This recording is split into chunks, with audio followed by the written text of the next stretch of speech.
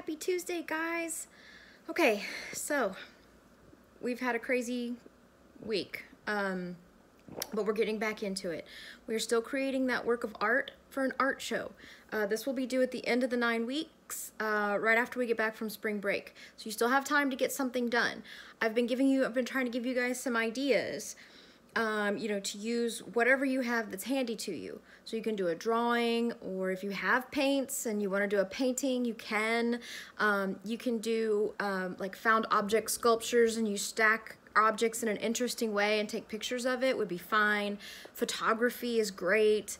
Um, and then today's examples, I've given you some examples of origami or paper folding that you can use to create a, a work of art folding different kinds of paper.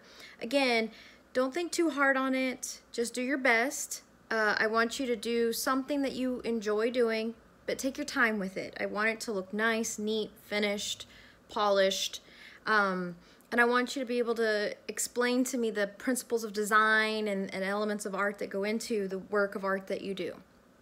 So look through the slides. These are some examples of paper folding. There's tons of stuff out there on Google and YouTube if you find something that you like but you want to know how to do it. Or you can email me and I can send you a video on how to do it um, if, you, if you find something that you like. Again, we've got time. Keep working. You're okay. If you are behind and you turn something in late, perfect. Go ahead and turn it in. Even if it's late, just send me an email so I can go in and update faster Otherwise, it's going to take me a little bit longer to update your grade. Um, but totally, I'm not even taking points off. Just get stuff turned in, okay?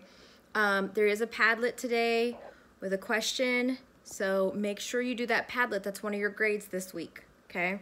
It's a super easy 100. It's just participation, guys. I know you've got this. I know it's been crazy. Uh, but you've got this. We can do this. We're going along. Have a great day. Email me if you have any questions.